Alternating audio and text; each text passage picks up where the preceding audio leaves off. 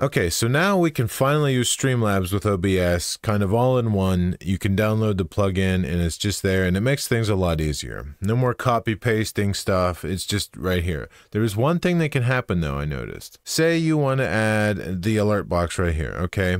Well, you got it from going up to Streamlabs, going to widgets, adding the alert box. But what if you wanted it on maybe another scene? So you go to there and you go back to your alert box and you hit add and maybe even want it on your main camera. You can't see it, but I'll go ahead and add it and it's added. So now we got three alert boxes. But what happens when you go to to test it? So we'll go to Streamlabs and we'll go to test events and we'll say a subscriber.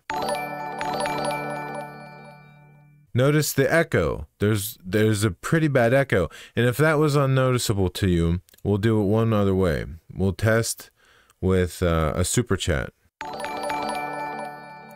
Ulrich Fire donated $47 super chat. This is a super chat $47. Okay, so there's a reason this happens. And if this is how you're adding your alert boxes, the reason you're getting this echo is because see down here where it says alert box down here it says alert box 1 what you need to do is to to not have that happen so I'll go to the main camera I'll delete that alert box. And we'll go here. We'll leave this alert box because that's fine. But we got to also remove this one.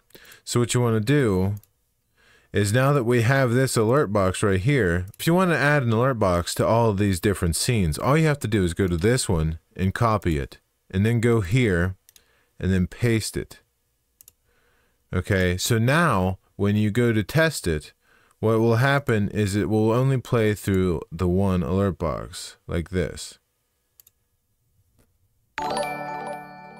Ulrich Firelord donated $72 through Super Chat. So you have to copy and paste one alert box. If you have more than one, if it has a parentheses one, two, three, or four here, it will double over and it'll just keep playing more and more and more and more and more. So basically that's it. You just have to make sure that you only have one alert box and you're just copy and pasting that to every scene and you're not going up here and adding a new one every time. Real quick side note, if you notice that all your alerts just kind of stop working, sometimes all you have to do is just sign out. Like if you if you go to the Streamlabs widget thing in OBS at the top, just sign out of that and kind of sign out of everything and then sign back in and everything should work. Also, if you're curious how to get Streamlabs into OBS in the first place, go to streamlabs.com and right here you'll see products down here is plugins for OBS. You click that and you download the plugin and you pretty much just do what it says and it's pretty simple. So hopefully this helps you. I know when Streamlabs was first usable in OBS just recently, I, I struggled with this. I was like, what what's going on? Why am I getting, you know, double audio or triple or more? But that's all it is. You just copy and paste the one alert box into every scene you want to and you're good to go. But hey, if you watch this video, I appreciate it. Thank you very much. It means a lot to me, and maybe I'll see you around on the internet again someday. Later.